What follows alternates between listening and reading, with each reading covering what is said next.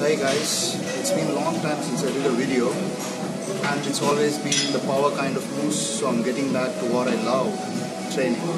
Biceps, wide grip barbell curls, inevitable. If you want that mass on your biceps, this is what you do. Come, let's do a set.